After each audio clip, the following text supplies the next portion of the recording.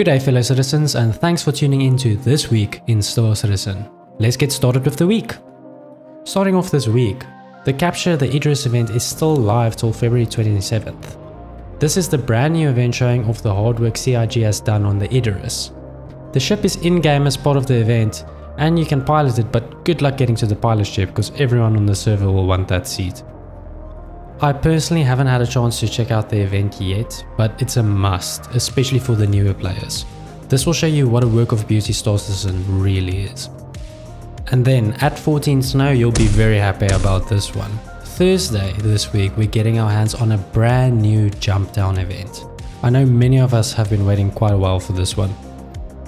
Last week's two main programs, Inside Star Citizen and Star Citizen Live went well, with ISC taking a look at the new master modes for Alpha 3.23 and Star Citizen Live taking a look at the upcoming distribution centers.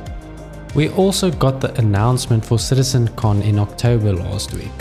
I left a link in the description for you guys as always. Now, let's take a look at what's happening this week in Star Citizen. On Tuesday, the narrative teams will bring us a new Galactapedia update and of course the Jumptown event. Thursday, there's a new episode of Inside Star Citizen with a look at the current state of the Aegis Idris, with a director's commentary by Nathan Dearsley and John Crewe.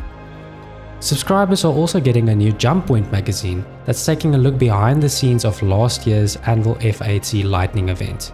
It will detail the development of the Swellen, a walk around the Idris, and a look at the in-law history of Pyro's Headhunters gang.